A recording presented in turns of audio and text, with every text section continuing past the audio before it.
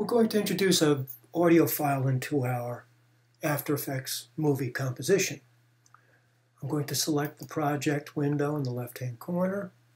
I'm going to go to File, Import, File, and I'll click on my MP3 and hit Open.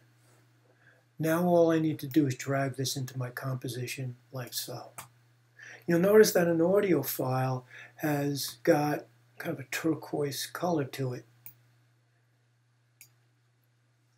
And much like editing a picture, I can open up the triangle at the left-hand side of the layer number.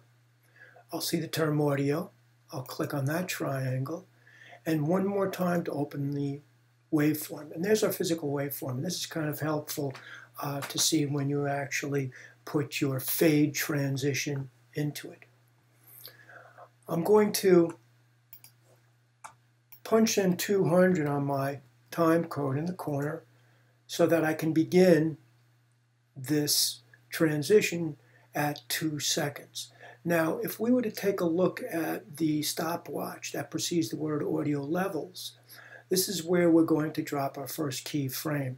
You'll also notice that there are the blue numbers here. And by default, every audio file that comes in registers at 0.00 decibels.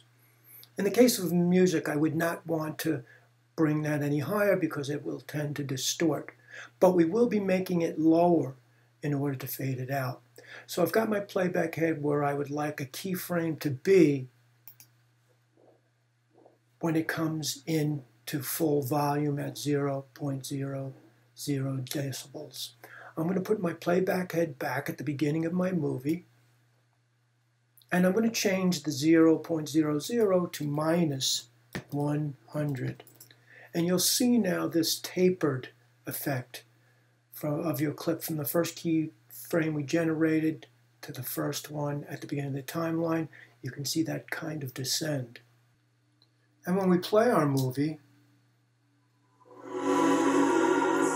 we hear the audio fade in. Now we're going to go down to the end of the movie and just reverse this process. So I'm going to go down to the end of my movie and I can slide down using the bottom edge of my application interface like so. Slider there.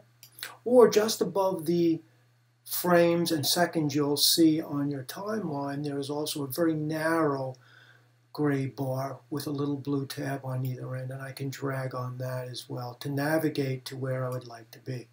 So I'm just going to locate the last clip, and I'm going to put my playback head at the end of that clip. I can shift and snap if I wanted to. I'm going to back up two seconds, so I'm at 42 seconds. I'll make it 40 seconds. And I'm going to copy the original second key frame. So I'll just zoom back on that. Here's my second key frame. I want that to be duplicated at that point in time. And there's two ways to do that. I can select it here, it turns blue when it's selected, Command C, Command V. Or I can go to the left-hand side of my application interface and you'll see at the very far left edge two triangles with a diamond shape in the center. If I was to click on that little diamond shape in the center, it duplicates the previous keyframe, which is this one. Essentially the same thing we got when we copy pasted. Now I want to put a fade out at the end of the very last clip. So I'll return to that again and I'll go to the 0.00 decibels. I'll click on it and I'll put minus 100. Now if I just put my playback head down a little bit before those two keyframes, tap my space bar, and we've successfully made a fade in, fade out.